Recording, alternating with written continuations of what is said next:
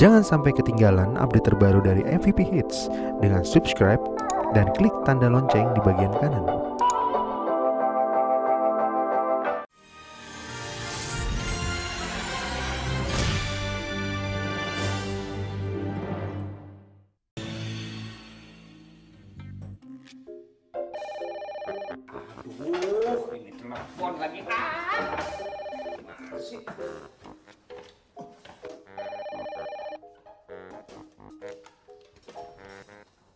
Halo, good morning. Selamat pagi. Jaka speaking di dia. Eh, Rohaye, ya yang abang yang tercinta. Apa kabar? Tumben pagi-pagi nelpon abang. Hah? Biasanya Rahaye pagi-pagi nganterin telur ayam ke warung-warung. eh Rahaye, Rahaye ada di mana nih? Rohaya di telepon umum depan, Bang. Deket-deket rumah Abang. Rohaya mau main ke rumah Abang. Jadi mending Rohaya telepon aja dulu. Eh, takutnya Bang Jakanya kagak ada lagi di rumah. Eh, ntar boleh kagak Rohaya main ke rumah Abang? Aduh, pakai nanya boleh apa enggak segala sih. Ya pasti boleh dong Rohaye. Cuma sekarang abang lagi sibuk nih. Abang lagi bikin kandang ayam. Setelah abang ke rumah Rohaye, abang ngeliat babe ternak ayam. Abang jadi tertarik. Iya. Bener, abang mau belajar ternak ayam. Nanti kalau udah berkembang biak, ayamnya bisa dipotong, telurnya bisa dijual, duitnya bisa ditabung. nah, setelah uangnya ditabung terkumpul, uangnya bisa kita pakai buat kawin. Nah, nanti kan Rahayu bertelur, telurnya bisa abang jual. Kok Rohaya bertelur sih, Bang? si Jaka masa pacarnya bertelur sih Ya udah, Rohaya kemari aja. Eh, Rohaya, Rohaya kemari naik apa? Naik bajai, Bang. Hah? Bajai? Eh, tukang bajainya masih muda apa udah tua? Emangnya kenapa sih tukang bajanya itu apa muda? si Jaka sama supir bajai aja cemburu Kalau supir bajainya anak muda, itu suka ngebut. Kalau supir bajainya orang tua, jalannya lambat. Rohaya kapan nyampe nya? Lain kali kalau kemari jangan naik bajai, naik taksi aja. libur, Tapi cari yang murah sama. ya. Selalu diganggu sama teman-teman istri. Ah, iya. Pindah, pindah. Hei, Jack. Kamar kosong di atas saya pakai, Jack. Langsung ke garasi aja ntar ya. Garasi, kamar kosong garasi. Ih, kalau pacaran di ruangan bebas kan lebih enak Rohaya, iya kan? Oh, kirain ngomong sama saya.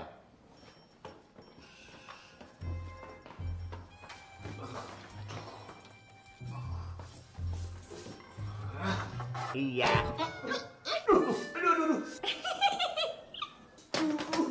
Duh, gimana sih bos? Main ketok aja? Eh, yang ngetok siapa? Saya mau lewat, papanya ini menghalangi. Papanya saya singkirin. Palamu yang keketok papan. Kok marah sama bos? Marah dong sama papan. Urusan dong sama papan.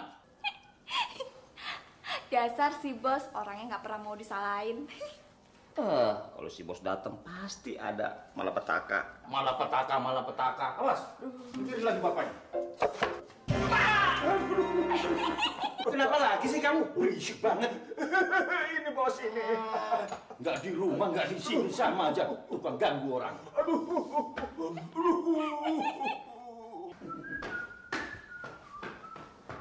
Eh, Gus. Eh, si bos.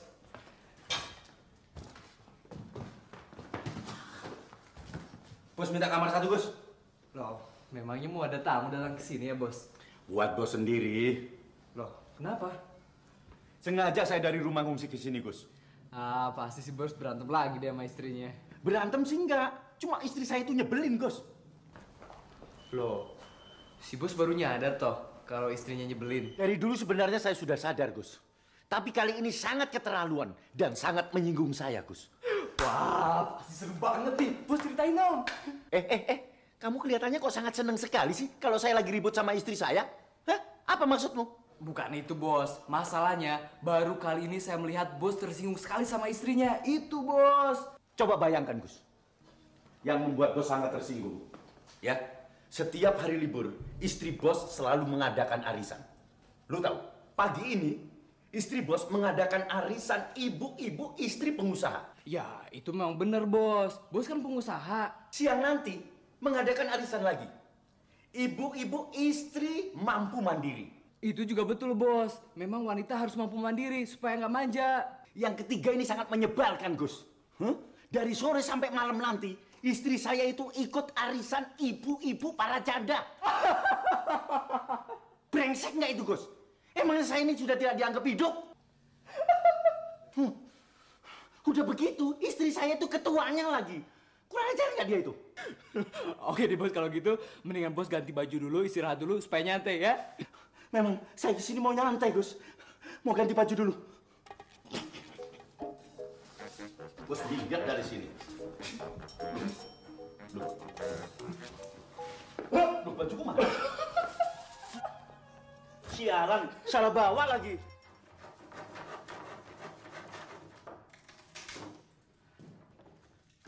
Assalamualaikum Bang Jaka. Waalaikumsalam. Eh, Rohaye, udah nyampe. Udah bang, terusin aja ke gajinya. Amali lagi, orang lagi kerja berhenti tengah jalan. ya udah, masuk. Kita sembari ngobrol. Iya deh. Udah, sekarang Rohaya duduk dulu. Sebentar lagi juga abang selesai. Tinggal beberapa potong. nah, sekarang abang mau ukur bagian mana yang perlu dipotong.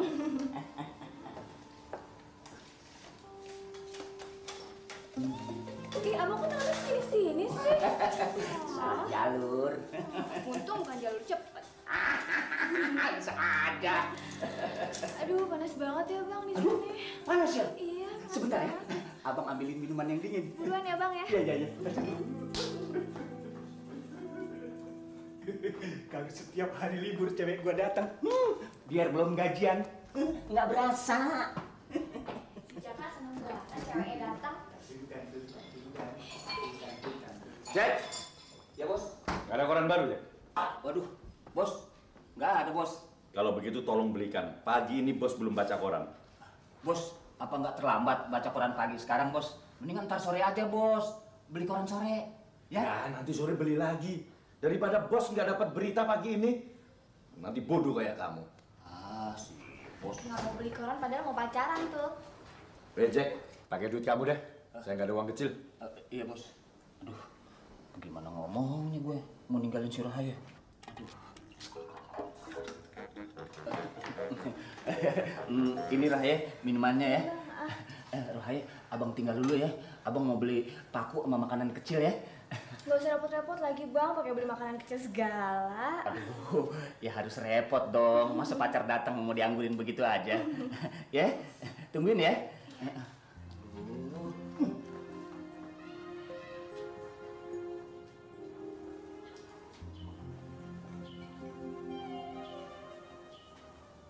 Loh, loh, loh. Siapa ini? Aduh, saya temannya Bang Jaka.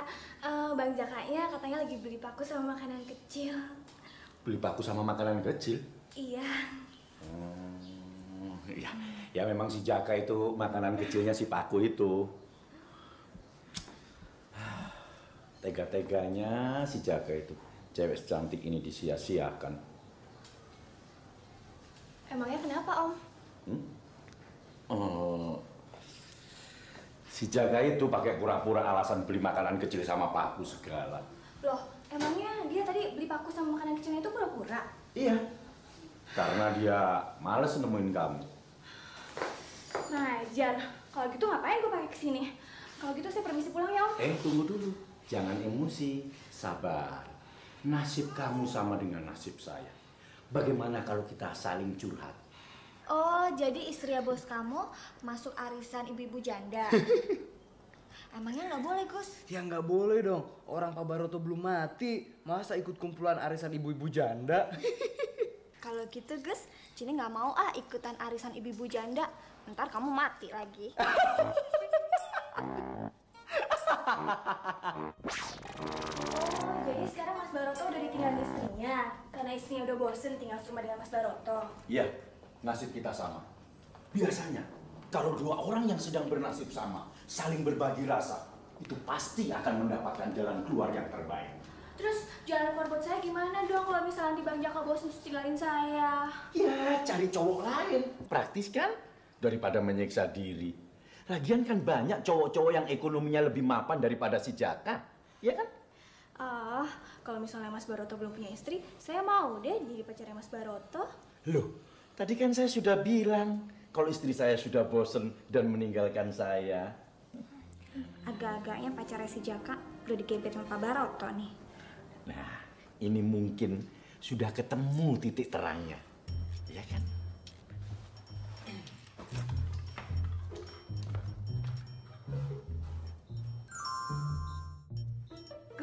Ada kabar buruk. Pacarnya Jaka di bawah digebet sama bos kamu, Gus. Ya itu memang udah penyakitnya dan sering kambuh.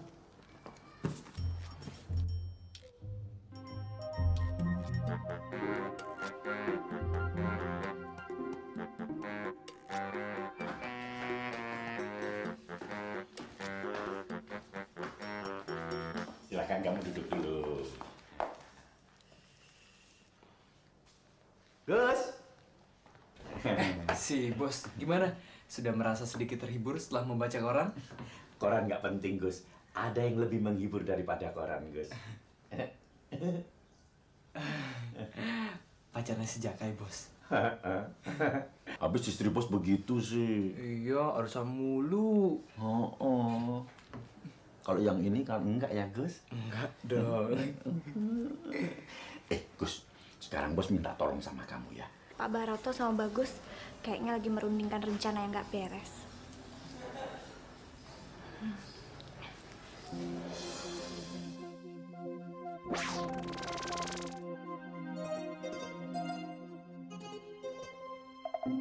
Gus, Gus. Sekarang bos minta tolong sama kamu ya. Urusin si Jaka di bawah. Ya, bos mau ngurusin itu dulu. Nanti gantian ya, Bos. Gantian. Heeh. Ya. Si Jenny udah gak. Boleh, boleh, boleh. Bos, bos, ini bos korannya bos. Nah itu suaranya si Jaka. Tuh, Ya udah, saya ngurusin Jaka dulu ya. Korannya saya taruh di bawah ya bos. Duh, keburu kering nanti rohaya di garasi. Yaya, Yaya, Rohaye, Rohaye, ini abang bawa yang kue domblok senangan kita. Hah? Rohaye, Rohaye, aduh, mana tuh anak? Rohaye, Hah? Aduh, Wah, kebetulan Jack. Gue udah lama pengen nantangin lu main catur. Yuk. Alah, enggak, gue mau nanya nih. Lu ngeliat cewek gue enggak? Tadi kan gue suruh nungguin di garasi.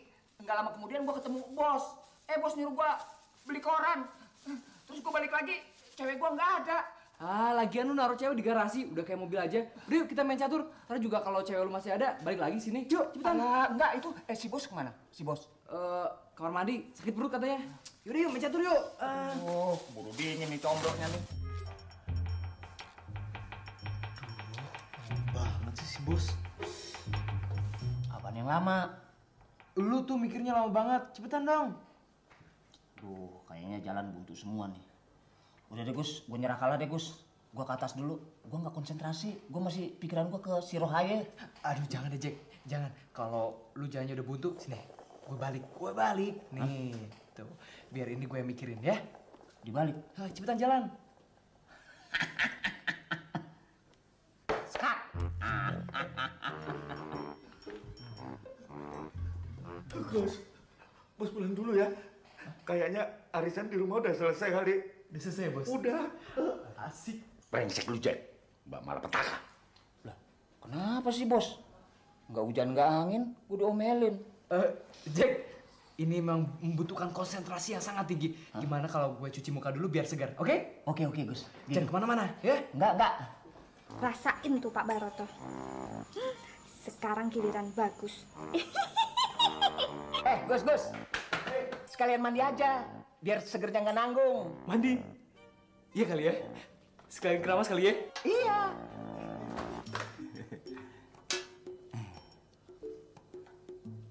Bos kenapa habis buang-buang air mukanya pada bonyok? Hmm?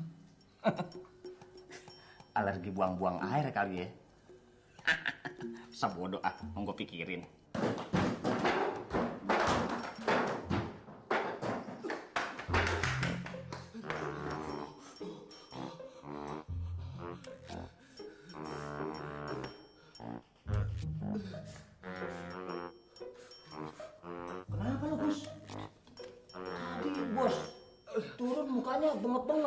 Nah sekarang elu turun dari atas, muka lu pada menyan begini. Ya ampun tuh hidung. Kenapa sih?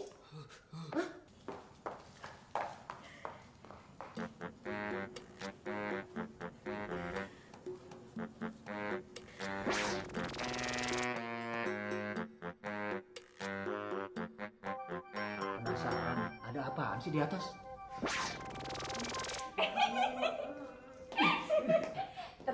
Kelakuan kamu sama bos kamu sama aja.